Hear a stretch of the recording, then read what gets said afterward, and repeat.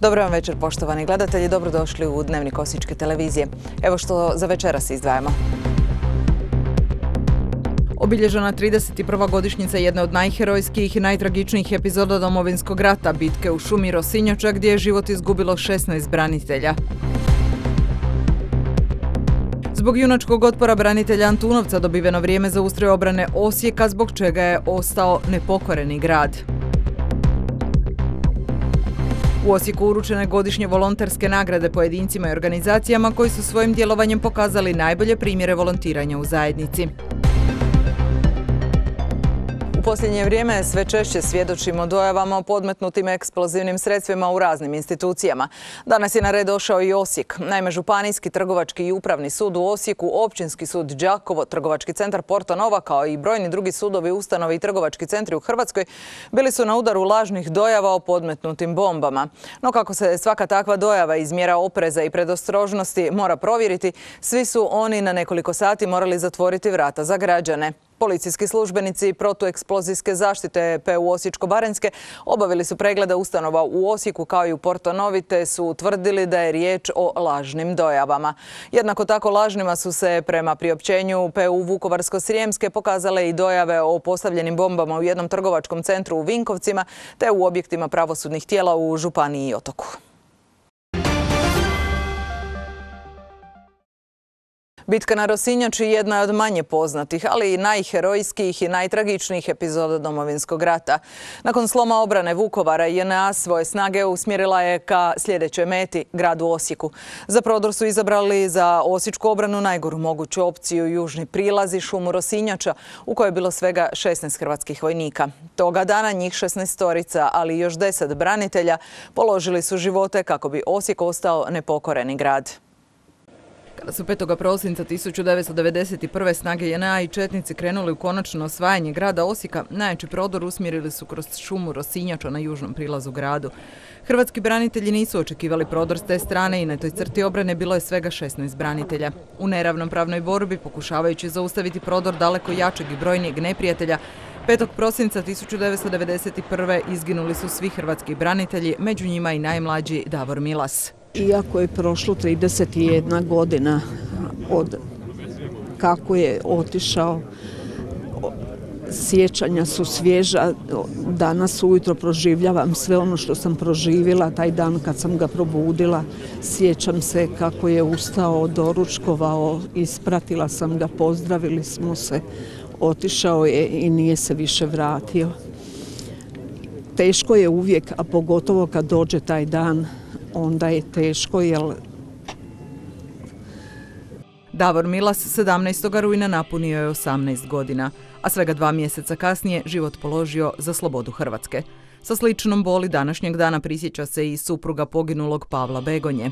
Sjećanja su i dana jako teška. Puno je vremena prošlo, ali vrijeme ne lječi rane, kako kažu. Ostalo je dvoje djece iza njega. Život teče dalje, teško je, uvijek je teško. Punih tjedan dana trajala je priprema akcije izvlačenja njihovih tijela koja su ostala u šumi, a onda su u noći s 12. na 13. prosinca pripadnici Bojne Frankopan krenuli. Izabrao sam e, najbolje momke za tu akciju. E, ostatak Bojne pokrivao je bokove jer nismo znali da li će neprijatelj e, baš u tom momentu izvršiti ponovni napad i uspjeli smo izvući, mogu reći, heroje Rosinjače. Mi kad smo došli zlačenje, rovovi su bili puni čahura. Znači, borili su se do zadnjega metka. Ali bila je velika snaga i oni su bili opkoljeni, znači nije bilo mogućnosti da se izvuku. Međutim, njihova žrtva nije bila uzaludna jer su svojim otporom nakratko zaustavili neprijatelja, omogućivši konsolidaciju obrane na drugim prilazima Osijeku. Ponajviše zahvaljujući njihovom otporu, grad je toga najkritičnijega dana ipak obranjen. Gledajući unatrag, najvažnija je bila priprema grada Osijeka, gdje je dobro osigurano minskim sredstvima, imali smo dovoljno topničkih sredstava, 95 komada topničkih oružja razno raznih kalibara, i lansirnih raketa protiv tenkovskih i to je održalo grad. Jer oni su gotovo svakodnevno pokušavali u jedan ili dva, tri puta da napadaju. Čak smo im uništili zapovjedni, e, zapovjednog tenka ogromnog jer sam čuo na Motoroli gdje se klade da će doći u Osijeku i na bivšem trgu Slobode pit kavu. Onda smo ih specijalno dočekali i to je bio veliki uspjeh. Žrtvi heroja iz šume Rosinjača počasti odao i ministar hrvatskih branitelja Tomo Medved. Pred nama je i nadalje misija i obveza u suradnji sa hrvatskim braniteljima, sa udrugama iz Domovinskog rata, pronalaziti modele kako hrvatskim braniteljima pomoći da se nose sa teškoćama koje su posljedice sudjelovanja u Domovinskom ratu. Ali na prvo mjesto stavljamo obitelji koje su izgubile svoje najmilije, a na poseban način usmjereni smo u traganje za svim našim nestalima. I naše misli i molitve su sa njima uz svakodnevan, intenzivan, odgovoran, institucionalan i sustavan pristup i rad u procesu pronalaska nestalih osoba. Za spas Osijeka samim time i Hrvatske velikim su dijelom zaslužni i branitelji iz okolnih mjesta. Nakon pada Vukovara krenula je ogroman pritisak na južnu obrambenu crtu grada Osijeka, govorim naravno o Nestinovu, Laslovu, Ivanovcu, Antunovcu, Tenji i 5.12. je dan kada je Antunovac u biti jel pao, zadnje mjesto koje je ovaj, izdržalo ovaj, do 5.12. i nakon toga su se linije utvrdile oko grada Osijeka i na svu sreću Osijek i ovaj, branitelji su uspjeli obraniti sve pokušaje da se Osijek ovaj, zauzme. Žrtva naših branitelja ne smije biti zaboravljena, kao što znamo. Današnji dan je bio dan D u obrani Osijeka gdje je poginulo 26 branitelja, od toga 16 branitelja sa Rosinjače. Neki dan smo proslavili 236. rođendan grada Osijeka i definitivno bez naših branitelja teško da bi Osijek bio slobodan i nepokoren grad. Ja im na tome zahvaljujem i na tome im vječna hvala. I ove godine na uglu Hebrangove i Rokove ulice u spomen obilježi herojima Rosinjače položene su svijeće. Najmlađi od njih Davor Milas u trenutku pogibije bio je učenik trgovačke škole, a učenici te škole koja sada nosi njegovo ime u znak zahvale što danas žive u miru položili su braniteljima i crvene ruže. I u Antunovcu se prisjećaju najtežeg dana u domovinskom ratu. 5. prosinca slomljena je obrana Antunovca, te toga dana utvrđena linija obrane oko Osijeka koja se više nije mijenjala do mirne reintegracije. Upravo zbog junačkog otpora branitelja Antunovca dobiveno je vrijeme potrebno da se rasporede obrambene snage oko Osijeka koje su ga očuvale nepokorenim gradom. Bitke kod Antunovca bile su presudne u formiranju karte okupiranih i sačuvanih hrvatskih sredina. Nastojeći pružati što duže otpor branitelji Antunovca i Ivanovca zadržavali su neprijateljsko napredovanje prema Osijeku i time kupili vrijeme tijekom kojega je pripremljena obrana grada. Kada je 5. prosinca slomljena obrana Antunovca, Osijek je bio dobro utvrđen i ostao nepokoren. Na visoku cijenu plaćenu u životima od danas podsjeća novo otkriveni Bijeli križ kod farme Orlovnjak, osmi na potezu odakle je krenula agonija mjesta, odnosno 14. kao simbol križnog puta kojega su Antunovčani prošli na putu do slobode. Ono što je ključno za reći za cijeli taj e, dio koji je na neki način štitio i branio i obranio južni prilaz gradu Osijeku. Uspjeli smo to napraviti, uspjeli smo napraviti sa ogromnim žrtvama. Naravno, e, grad Osijek je ostao sačuvan, što je bio cilj, što je bio naravno ovaj, konačan zadatak svi u nas koji smo od Laslo Ernestinova pa do Antunovca izdržavali sve udare, naravno nakon pada Antunovca. I evo, danas se sjećamo svih onih koji su poginuli, sjećamo se svih onih koji su ostali svoje živote, svih onih koji još uvijek ne možemo pronaći, koji se vode kao nestali. Bijeli križ otkrile su majka nestalog Darka Kišureka te Anđel Lovrić, majka ubijenoga, nikada nađenog branitelja Ivice. Tražimo ga 31 godinu, a sve uzalud. Oni koji znaju neće da nam kažu. A mislim da ne mogu mirno spavati, jer to dijete nikome nije krivo ništa bilo. Branio je svoje mjesto kao i brojni mu suborci, od kojih je čak 68 od njih poginulo u obrani Antunovca. Za četvoricom se još traga, a ministar ističe kako su probna iskapanja svakodnevna te podsjetio na nedavne pomake. Imamo, uh, obzirom da smo prije evo, desetak dana pronašli dva posmrtna ostatka na području Mirkovaca, proces identifikacije Prema tome, dakle, i e, onaj terenski dio koji se e, radi kroz u obliku probnih iskapanja, ali i ovaj dio laboratorijske obrade posmrtnih ostataka i vjerujem da ćemo vrlo brzo imati rezultate i da će barem dvije obitelji prije Božića imati priliku e, dobiti informaciju, suočiti se sa tom činjenicom pronalasku svojih članova obitelji i dobiti, dobiti svoj smiraj. S obzirom da su tijekom godina čekanja mnogi roditelji nestalih branitelja već umrli, a daljnji je odljev neizbježan, neku utjehu treba im pružiti obveza koju je država na sebe preuzela i nakon njihovog života. Republika Hrvatska i kroz zakon je preuzela obvezu nastaviti traganje za svim nestalim osobama dok se ne pronađu njihovi posmrtni ostaci. Puno toga u budućnosti će ovisiti o novim naraštajima, pa i samo čuvanje sjećanja na domovinske obljetnice poput Antunovačke.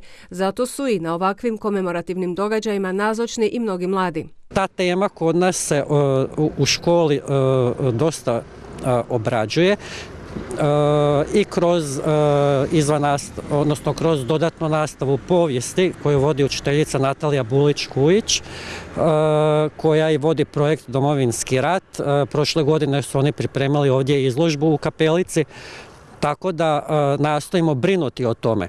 Ovdje sigurno smo došli s razlogom da se prisjetimo ovoga.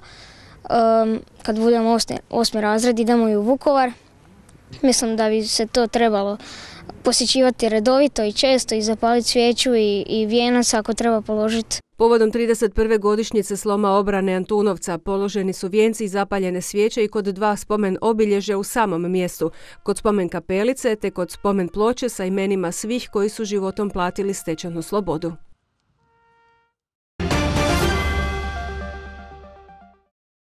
U povodu Međunarodnog dana volontera koji se diljem svijeta obilježava 5. prosinca, Osječki D kolektiv uručio je godišnje volonterske nagrade.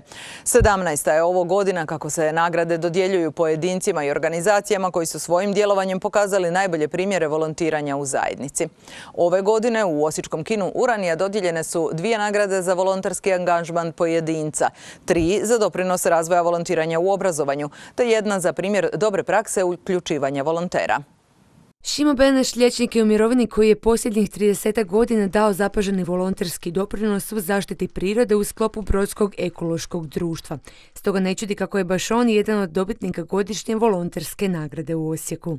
Ono što je ovdje bitno u ovom svemu je e, naša aktivnost nakon što smo se registrirali kao Brodsko ekološko društvo i poveli brigu o jednom zaštićenom području. Ono što ja moram zahvaliti ne samo ovima koji su nas e, nominirali i koji su nama dodijelili, odnosno meni dodijelili e, tu nekako priznanje, nego i onima koji su zapravo omogućili da se te ideje e, zapravo sprovedu. Jer bez drugih volontera, a ja bih rekao na stotine drugih volontera, ne bi se moglo ostvariti ovo što smo mi učinili. A sa svojim volonterskim radom i doprinosom i Matice umirovljenika općine Čaglin zaslužila je dobiti priznanje kao primjer dobre prakse uključivanja volontera. Mi smo jako mala općina, ali je veliko rasprostranjenost. Ima ljudi koji su od e, potrebiti i stvarno je ovaj, da nema takvih ljudi kao što smo mi, ljudi ne mogu ni funkcionirati. Neki nemaju čak ni gdje spavati, ni obuce, ni tak i mi to sve ovaj, preko općine Čaglin pokušavamo pomoći. 17. je ovo godina kako Osječki volonterski centar koji djeluje u sklopu D kolektiva dodjeljuje ove na izgled simbolične, ali vrlo vrijedne nagrade. Danas imamo u pripremi šest nagrada i još toliko priznanja. To su sve vrijedni i važni primjeri u zajednici koje mi pokušavamo istaknuti. Naime, ova nagrada nije zamišljena kao osobito kompetitivno natjecanje, nego zapravo kao prostor u kojem svi idemo prema istom cilju. U samu dodjelu nagrada održana je i panel rasprava Mala zajednica Velika snaga, čiji su se sudionici osvrnuli na prepoznavanje potencijala volontiranja u lokalnoj i široj zajednici.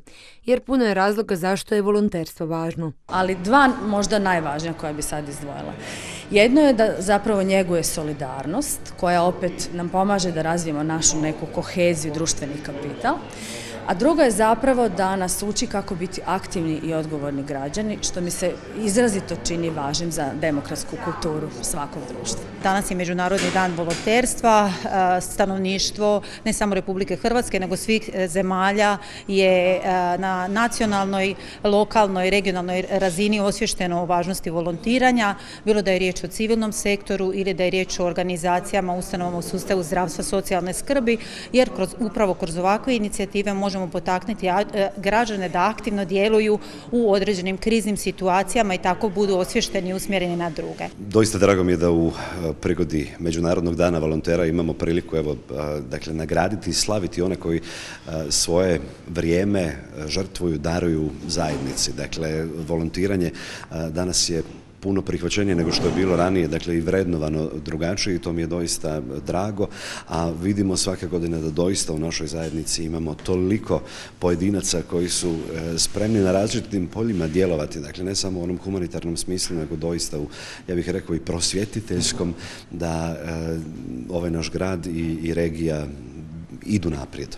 U proteklih 16 godina do kolektiv odnosno volonterski centar dodijelio je 142 nagrade aktivnim pojedincima i organizacijama koje u svoj rad uključuju volontere, obrazovnim ustanovama te poslovnim organizacijama koje promiču volonterstvo. Od 20 učenika trećih razreda osnovne škole Antuna Bauera iz Vukovara danas je posjetilo Palaču Srijem. Ondje ih je dočekao župan Damir Dekanić koji im je iz prve ruke predstavio zadaće župana te pokazao kako izgleda sama zgrada Vukovarsko-Srijemske županije. Ovaj posjet u sklopu je programa predmeta Priroda i društvo jer upravo u trećem razredu učenici se upoznaju sa županijom, zastavom iste te županom kao vodećom figurom. Palača Srijem u Vukovaru, središte Vukovarsko-Srijemske županije, nikada nije bila veselija. Naime, učenici trećih razreda osnovne škole Antuna Bauera iz Vukovara zauzeli su veliku vijećnicu i načulili uši ne bili saznali nešto novo o svojoj županiji. Iako moramo priznati da već podosta znaju. Županija je dio, manji dio naše domovine. Što znaš o Vukovarsko-Srijemskoj županiji? Znam da unutra ima puno ljudi, jako, jako puno ljudi u našem gradu i središte naše županije je Vukovar. Naš, naš župan zove se, zove se Damir Dekanić. Kako izgleda naš grb? E, izgleda tako što ima jelena, e, nalazi se hrast, ima plave boje, plave i bijele boje. Plava boja označava naše rijeke. Njeno sjedište je grad Vukovar. Je li velika naša županija? Pa je. Koliko bi rekla da ima ljudi naša županija? Poko par tisuća. Naš župan se zove Damir Dekanić. A što je njegov posao? Što on radi? Vodi našu županiju. Upravo on dočekao je 24 osnovna školca koji su u županiju posjetili u sklopu programa predmeta Priroda i društvo. Ovdje smo došli u županiju jer mi u okviru sa predmeta prirode i društva imamo, učimo naš zavičaj i našu županiju, pa smo došli da vidimo kako to izgleda ova naša palača i što služi, za čega služi, jel? da što više naučimo o županiji. Oni znaju i zastavu i grb i gospodarstvo i turizam i sve smo učili u županiji, sad smo samo došli da još potvrdimo ovdje. Znaju oni puno informacija, malo toga im ja mogu reći o onim općim podacima, ali ja njih pitam kako i što rade, što žele biti kad e, odrastu, kakvih problema imaju, kakvih ljubavi imaju i tako jedan, onako jedan ugodan, ugodan razgovor i ova praksa mi se izuzetno sviđa i smatram da je jednostavno potrebno da, da djeca shvate u toj dobi da one čike koje gledaju u prolazu ili na televiziji da su normalni i da oni sutra mogu biti na, na tom mjestu. S obzirom da župan već tradicionalno ugošćuje mališane, u svakoj skupini nađe se poneko dijete koje izrazi želju sjesti baš na njegovo mjesto. I to je dobro da, da, da se zna, da detektiramo koji su oni koji će se sutra baviti ovim poslom. Ohrabrit ću u svakom slučaju i reći da se rukodi samo time da radi za opće dobro. Saznao je župan Dekanić što to djeca žele biti kada odrastu, što misle zašto je baš Jelan na zastavi županije, no i on je njima pojasnio što je točno njegov posao i kako on nikada nestaje. Posao župana cjelodnevan je. Građani dolaze sa milion različitih problema, ja bih sad mogao nabrajati dugo, dugo i e, neretko se dogodi da u danu i po desetak sastanaka tog tipa. Osim toga, Župan brine o razvoju županije, e, brine o radu e, županijskih institucija. Kada kažem brine o razvoju, znači da mora aktivno raditi na određivanju strategije razvoja županije, da mora aktivno raditi na projektima, rješavanju svih problema vezanih uz te projekte, organizaciji, posla rada u županiji. Važna je također i suradnja sa ostalim županijama, ali i državama, što nije ni malo lak posao. No vjerujemo kako nekog budućeg župana ili županicu među ovim učenicima ove informacije nisu obeshrabrile. Dobitnica javnog priznanja Zlatna plaketa Grb grada Osijeka za životno dijelo Vera Svoboda Njikoš upalila je drugu svijeću na adventskom vijencu ispred kod katedrale Svetih Petra i Pavla u Osijeku. Druga svijeća na adventskom vijencu simbolizira Kristove jaslice, a predstavlja ljubav.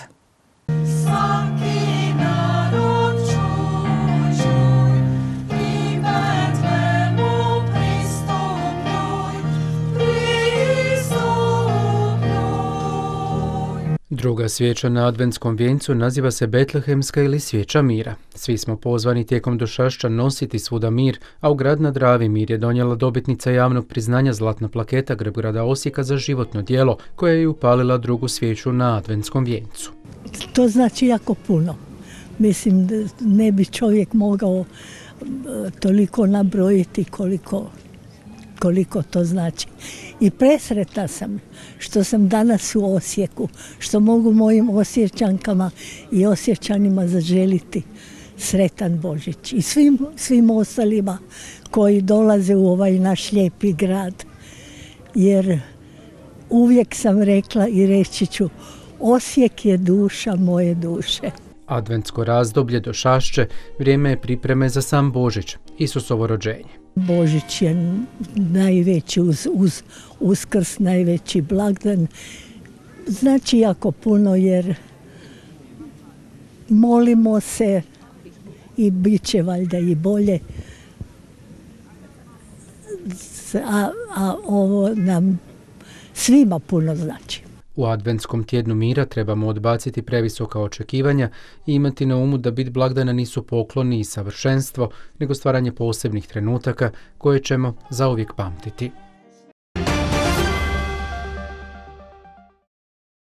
Nakon jednomjesečne stanke s pripremama za drugi dio sezone 2022-2023 počeli su nogometaši Osijeka koji su prezimili na trećem mjestu HNL-a Neobičajna jesenska stanka uzrokovana je dakako svjetskim prvenstvom u Kataru, koje se po prvi puta igra u ovom zimskom terminu. Na startu šestotjednih priprema, austrijski trener na klupi bijeloplavih René Poms obavio je prozivku u slačonici gradskog vrta, a kako je on dosad bio samo vršitelj dužnosti tijekom ovog tjedna, trebao bi potpisati ugovor s NK Osijekom do ljeta 2024. godine. Očekivanja su da se nastaje ovako, ako ne i još bolje naravno. Imamo sad odličnu situaciju, odlično smo krenuli, imamo kup, borbu za, za, za kup, borbu za što više veći vrh tablice, jel naravno velika je razlika, ali treba nastaviti se boriti dokle god ima šanse i to ćemo sigurno raditi. Sportski direktor Ivica Kulešević u dogovoru će sa stručnim stožerom razraditi igračku križaljku, s tim da bi već ove zime mogli otići neki igrači, primjerice reprezentativni vratar Ivušić ili mladi reprezentativni napadač Beljo. Što se tiče ulazne i izlaznih transfera, nemam ništa spektakularno vam ponuditi kad budemo imali nešto službeno. Izaći ćemo sa time u javnost, ima, ima dosta upita, bilo je nekih službenih ponuda što i sami znate, to smo, to smo odbili za sada i eto, to je to. Ambicije kluba ostaju iste, želimo mm, se boriti do kraja za što viši plasman. Nije, nije ni sportski odreći se titule na, na današnji dan, međutim i sami znate da to nije nešto nešto možda realno. E, nadam se da ćemo do zadnjeg kola ostati u borbi za to drugo mjesto. U kupu su nam ambicije visoke. Bijelo-plavi će u Osijeku ostati i trenirati do nove godine, a od 2. siječnja odlaze na dvotjedne pripreme u Umag. Drugi dio prvenstva počinje 21. siječnja kad će Osijek u gradskom vrtu ugostiti rijeku u okviru 18. kola HNL-a. U utorak će prevladavati dijelomice sunčano vrijeme uz promjenjivu na oblaku. Mjesamice će još biti kiše u većini predjela tijekom noći s ponedjeljka na utorak. U Slavoniji još i prije podne. Početkom dana ponegdje je moguća magla. U kontinentalnoj Hrvatskoj vjetar će biti slab. Jutarnje temperature zraka kretat će se između 2 i 7 Celzijevih, a najviše dnevne od 6 do 11 stupnjeva. Bilo bi to sve u ovom izdanju Dnevnika. Hvala vam lijepa na gledanju i ugodan ostatak dana. Doviđenja.